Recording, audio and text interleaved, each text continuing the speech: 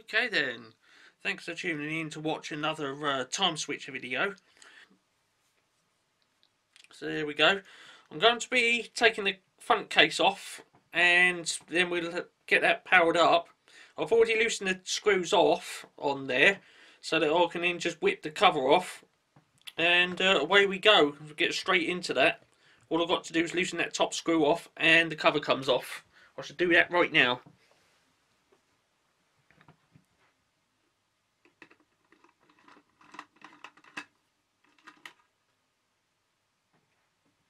There it is then. Now, if I'll just get me little uh, thing back on the screen. Right, so I'm not going over into the red buffer zone on the audio. You can see just above the clock face there's a little red curved thing. Let's power it up then.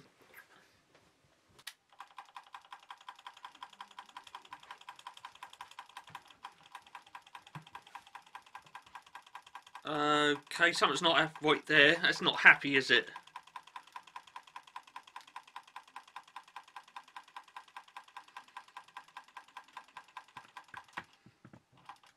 Oh, there it goes. Is it?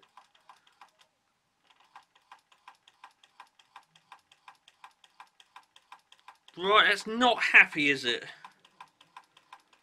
That should not be doing that. It should be rotating in one direction only. Hold on a minute, I'll just disconnect that. Oh, no.